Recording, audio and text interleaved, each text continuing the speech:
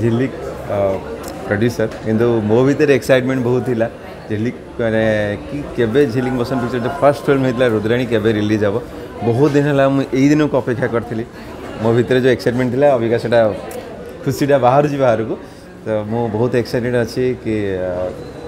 ନିଶ୍ଚିତ ଭାବରେ ଗୋଟେ ଭଲ ଫିଲ୍ମ ଗୋଟେ ଫିଲ୍ମ ମେକିଂର ଯେଉଁ ଥାଏ ଗୋଟେ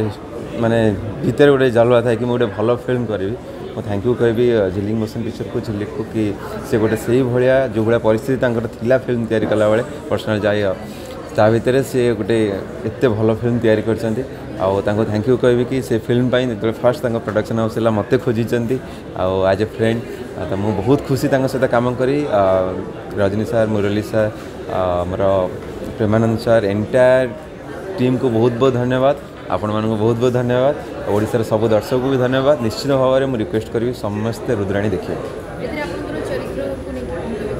ମୁଁ ମାନେ ଏଥିରେ ହିରୋଟା ଗୋଟେ ଅଟୋବାଲା ତ ସେ